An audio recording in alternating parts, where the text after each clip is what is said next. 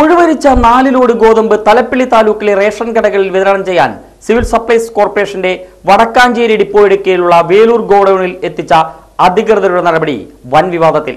കടുത്ത പ്രതിഷേധത്തെ തുടർന്ന് വേലൂർ ഗോഡൌണിൽ ഇറക്കാൻ കഴിയാതിരുന്ന ഗോതമ്പ് ലോഡുകൾ ജില്ലാ കളക്ടർ എസ് ഷാനവാസിന്റെ നേതൃത്വത്തിലുള്ള ഉദ്യോഗസ്ഥ സംഘം ഞായറാഴ്ച പരിശോധിച്ചു.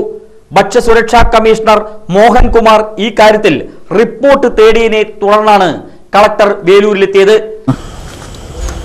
വടക്കാഞ്ചേരി സിവിൽ സപ്ലൈസിന്റെ കീഴിലുള്ള വേലൂരിലെ ഗോഡൗണിൽ പുഴുവരിച്ച ഗോതമ്പ് വരുന്ന വിഷയമുണ്ടായി.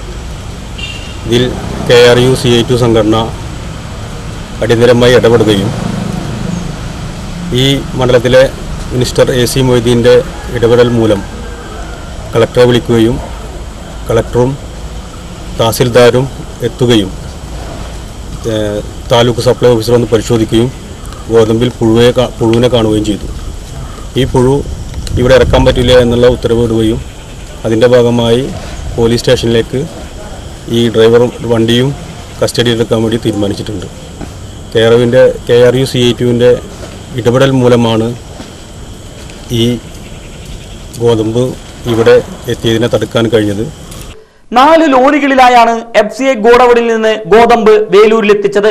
പുഴുവും പ്രാണിയും ശ്രദ്ധയിൽപ്പെട്ടതോടെ നടപടി ആവശ്യപ്പെട്ട് കേരള റേഷൻ എംപ്ലോയീസ് യൂണിയൻ രംഗത്തെത്തുകയും മന്ത്രി എ സി മൊയ്തീനെ വിവരമറിയിക്കുകയുമായിരുന്നു.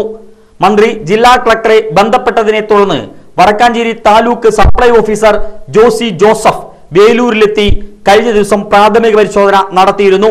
ഇതിന് പിന്നാലെയാണ് ജില്ലാ കളക്ടറുടെ നേതൃത്വത്തിലുള്ള വിദഗ്ധ സംഘം പരിശോധനയ്ക്കെത്തിയത്